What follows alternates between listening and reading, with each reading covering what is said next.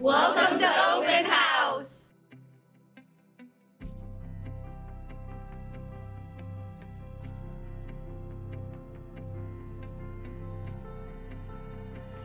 What's up everybody? My name is Mallory. I'm a first year student here at the vet school and today we're going to talk about lungs. And you're probably wondering what this is behind me. And if you guessed the Shetland pony, you're correct.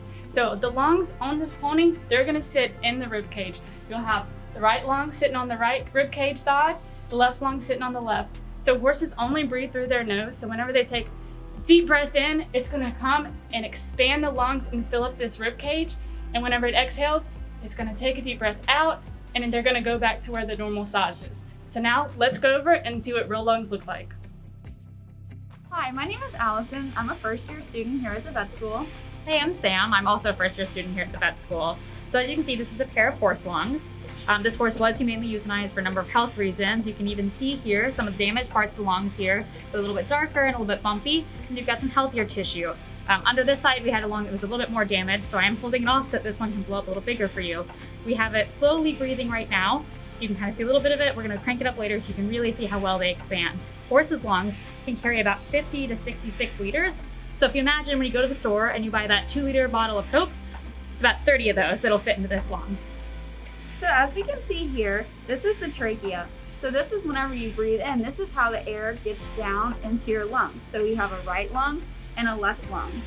And as you breathe in, the lungs will expand and fill with oxygen, and that oxygen will go into your blood. And then once you exhale, they will deflate and travel out and bring the carbon dioxide out.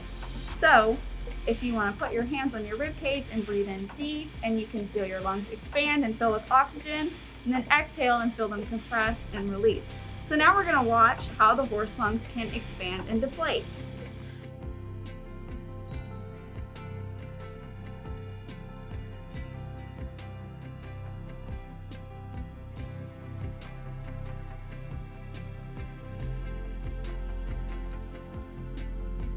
Next, we have an activity um, where you can see how your lungs expand and deflate.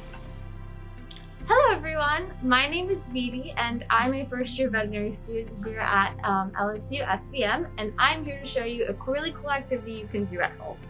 So earlier we talked about the lungs, so these are also horse lungs and I want to show you just down right here is where this really big muscle called the diaphragm sits. Now, when we exhale, the diaphragm is relaxed and it will sit right up in here and it creates this negative pressure almost like a vacuum. So when you inhale, the diaphragm pulls down this way and this pulls um, air into the lungs with that negative pressure that we talked about that was in the chest cavity. So you can actually demonstrate this in a really cool experiment at home using just two balloons and a plastic bottle. So this balloon inside here is what represents the lungs and this balloon down here is going to be the diaphragm. So when our diaphragm contracts and pulls down, the negative pressure inside the bottle is going to pull air into our lungs. And you can kind of see it inflate just a little bit right there. So let's see if you can make this at home. Good luck. Thank you for coming to our virtual presentation. We hope to see you guys next year um, when it's not COVID time. But uh, as for now, hope you guys had a fun time. You learned a lot from us. Stay safe. Bye. Thanks.